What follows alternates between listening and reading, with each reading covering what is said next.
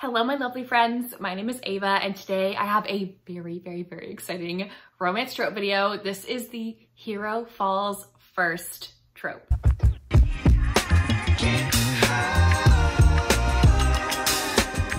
I adore this trope, okay? Give me a man who absolutely falls head over heels in love with a woman, like from the get-go.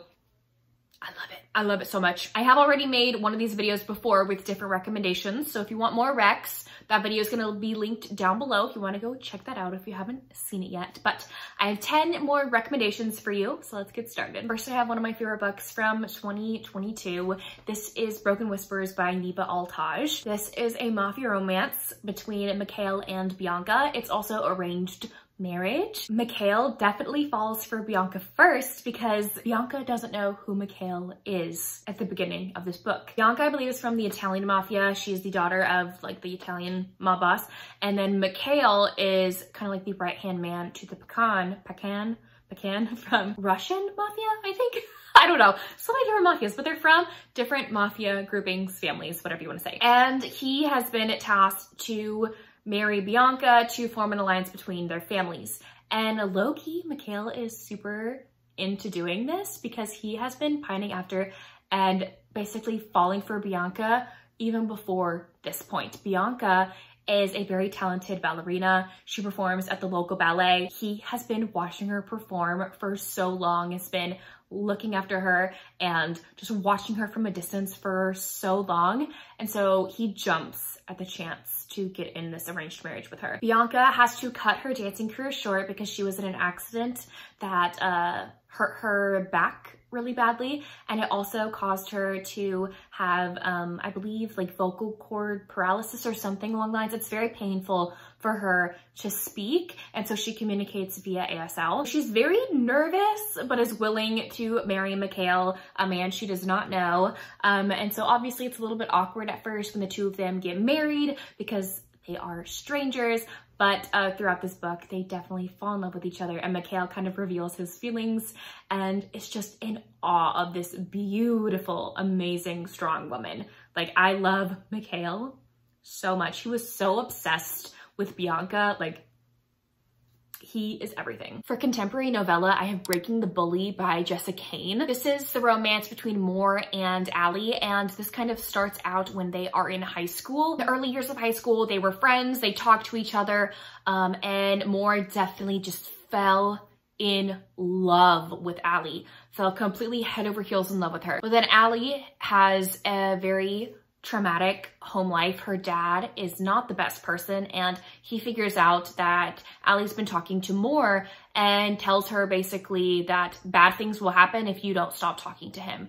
And so she has to cut Moore out of her life and Moore doesn't know why. He's just so angry about the situation that the woman that he loves has just cut him out completely. So he starts bullying her to just get like any reaction, whatever out of her because she's just like a blank blank face in front of him, like won't show any emotion. So he just tries everything in his power to get something, some rise, some emotion, some communication out of her. So he decides to bully her. And then it's a few years of them going through this and he finally figures out why Allie did what she did and he is utterly devastated and there begins the ultimate grovel. This is one of the only bully romances I actually like. I feel like Jessica Cain did this really well. I normally don't like bully romances. I feel like it's not redeemable like some of the bully aspects, but I feel like Moore in here is definitely just in love with Allie and just wants to feel something, like wants her to feel something. He feels like she's this granite statue now because of something. Like he doesn't know what happened to her. So he's trying to get anything, any emotion out of this woman. So trigger warning here for domestic abuse. Her father is very abusive. So please be aware before you go into it. Next, I have a Ruby Dixon book. Obviously, this is Barbarian Lover. This is book number three in the series. This is the romance between Aehako and Kira. And man, this one is really fun. This is like the very beginning of the series. This is book three. As you can see, Kira on the front, she was the human woman, a part of like the women who crashed on this ice planet, um, who got put with like the hearing device. And it's very painful. She can't even like lay on the side, on this side, because it's just so painful. Um, and she has just been dying for this thing to get taken out of her ear. Like she's so sick of it. Um, but then all of her friends around her, her new human friends, all of them are finding their mates and getting resonated to other people. And she really just wants to wait for resonance. She feels like, like that's how she finds her person is to wait for resonance. Aehako in here is one of the male sa-khui aliens on this planet. And right when he sees Kira, he knows that she is his. Like he knows that Kira is his mate. Even though resonance has not happened between the two of them, he just knows deep in his soul, like that woman is his. So he decides to kind of like befriend her, get to know her, they play jokes or like he jokes with her. um, and he like fully puts himself out there and is like, I want you. Like, can we just be together already? She's like, no, like what happens when you resonate to someone else? Like, I don't want to be left high and dry. I don't want that to happen. He's like, don't worry about that. It's not going to happen because you're my mate. Like, I, I know it. She's like, how do you know that? Resonance has not happened. and so the two of them end up falling in love without resonance kind of like being there. I know some people who read this series aren't really a fan of the resonance aspect, so you might like this one. Hako in here though definitely falls for Kira first and like just automatically knows that this woman is his. He's such a cute softie that is so funny too. Like there's so many funny aspects in here. I adore him. A monster romance that I'm here to recommend is A Soul to Keep by Opal Reyne. This is the romance between Rhea and Orpheus. This book takes place in this like fantasy-esque realm I don't want to say post-apocalyptic. I think it's fantasy. Where there are kind of like three different kinds of beings. You have humans, you have demons. Demons eat humans. And then you have Duskwalkers who are kind of like their own magical being in and of itself, um, but they have like magic to them. Humans are being eaten by demons and if demons eat humans, they get more powerful. And so humans definitely don't want demons to get more powerful. So this one group of humans, this one camp, uh, has a deal with a Duskwalker who has this magic that'll put like a force field basically around their village uh, once a year, like it'll last a whole year. If once a year they give him a bride. Um, so this year, the sacrifice that they're gonna give is Rhea, who's kind of like the town outcast. And so Rhea's in for a shock when she meets Orpheus and he is not this giant scary being you see on the cover. Like, no, that's what he looks like. He's not that on the inside. He is just sweet, soft, creature who just wants love. He wants someone to love him. He wants someone to care for.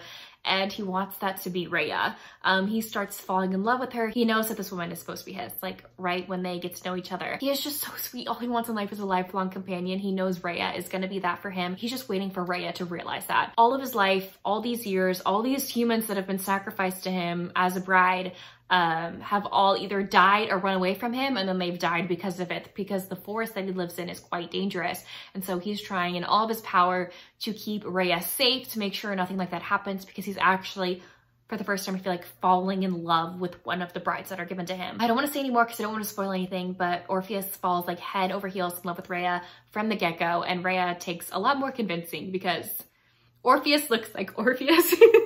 um, but this one was so great. There are trigger warnings in here, by the way, for animal death, blood, gore, and killing. So just beware of that. But I really love this monster romance. It was one of my favorites of last year.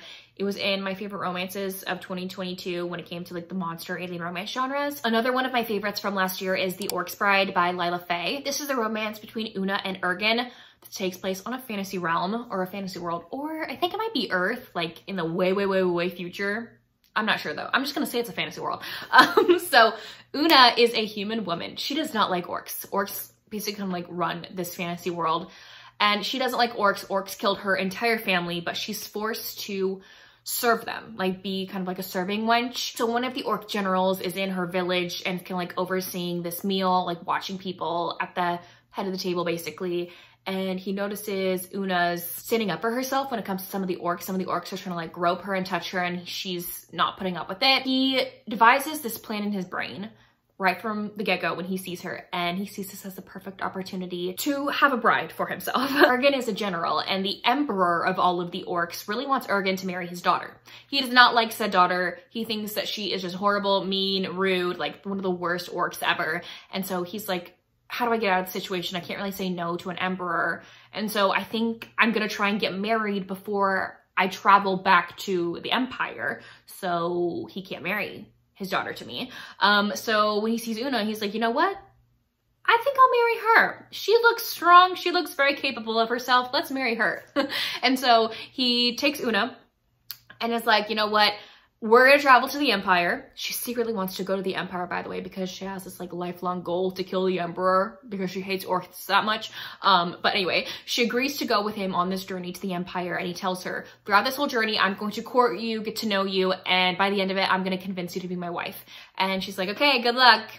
I don't think that's gonna happen, but you can try. and again, she has these alternate plans of just like getting to the Empire to try and assassinate the like Orc Emperor. But she's not in for falling in love with Ergen because she definitely does that. But Ergen falls first. He realizes how strong and capable and amazing Una is, like very quickly, and Una takes a little bit more convincing. And it's also different because he's an orc and she hates orcs. There's a lot going on in this book, but I really enjoyed it. If you want to read a really good, entertaining orc romance, you have to pick this one up. Another monster romance is His Darkest Craving by Tiffany Roberts. This is another case where the hero falls first because the heroine doesn't know that he exists, basically. This is a romance between Sophie and Cruz. This takes place in our world. Um, so Sophie in here, I think she's like fleeing an abusive ex or something along those lines or abusive husband.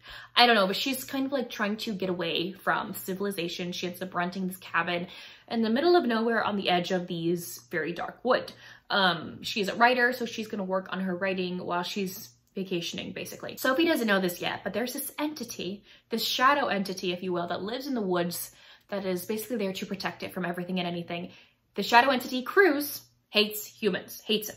Um, he's actually been cursed um, to be this shadow form, the shadow entity. And I think he's able to be in his physical form like once once a year and that's like his fae, his real form. But anyway, the first night that Sophie's there, he figures out that a human is there and he's going to go kill it.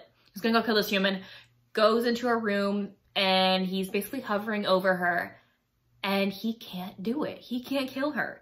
And he's so mad at himself. He's like, why can't I kill this measly little human? Like, I don't understand. He's figuring out that he actually cares for this person.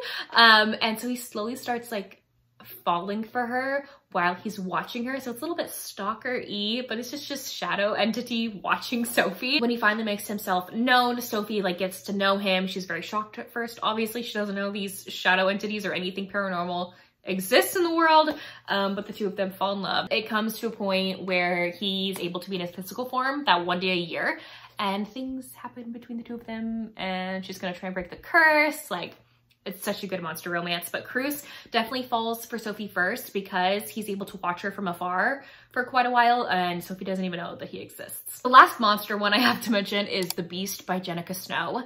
Um, this is just a shorter Beauty and the Beast retelling. This is basically like the animated Disney version of Beauty and the Beast, but way hotter.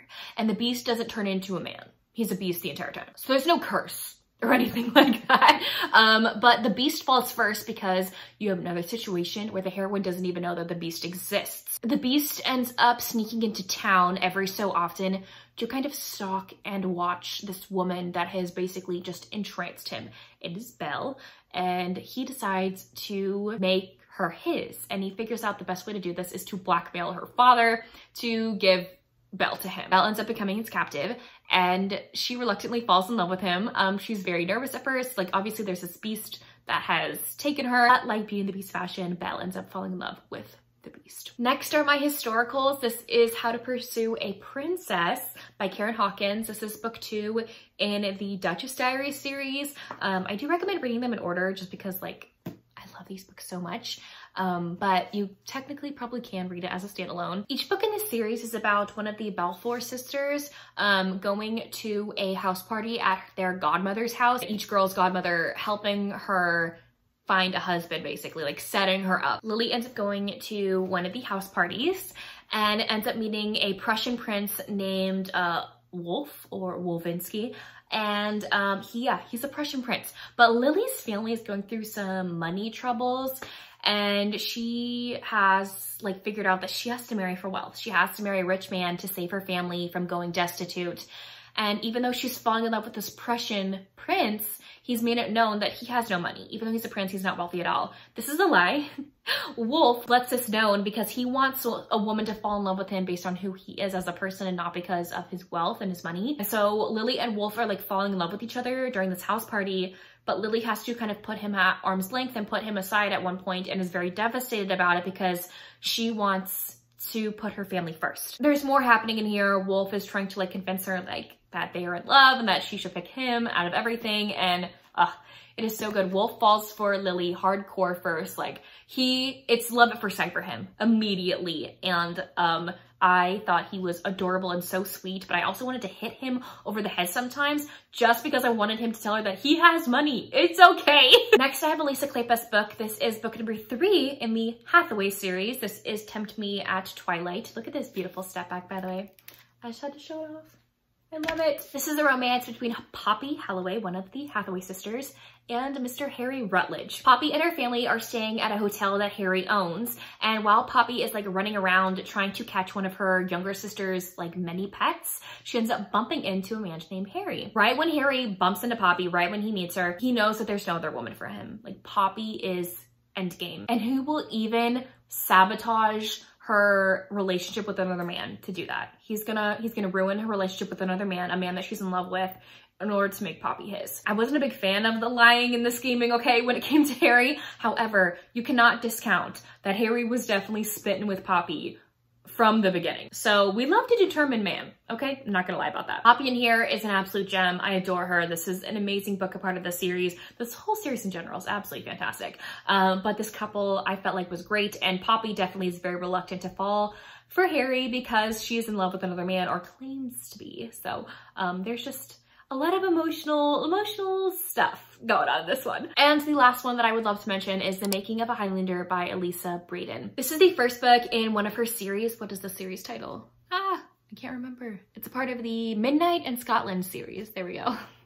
I'm not good with remembering series names. Anyway, um, so Annie in here is our heroine and her village labels her as mad. They think she's crazy and like talks to herself all the time, but no one knows that Annie can actually see ghosts and she's just talking to ghosts. So it's a historical romance with like some paranormal aspects to it. Her best friend is actually a ghost and the ghost has disappeared and she figures out the only way that she can get her best friend back is to marry a lord. There's like this prophecy or something that she reads, this fortune that is told to her and she's like, okay, the only way I can get it back is to marry a lord. Okay, I guess I gotta go do that. She's not the lord marrying type though. Let's just say that. So she ends up across an Englishman. His name is John and she like kind of figures out this deal with him. She's like, okay, you need to teach me how to be like an upstanding lady so an English lord can fall in love with me. And then in exchange, I'll help you with uh, winning the Highland Games. Like he wants to compete in the Highland Games. But obviously as the two of them spend more time together, they fall in love. John ends up falling in love with Annie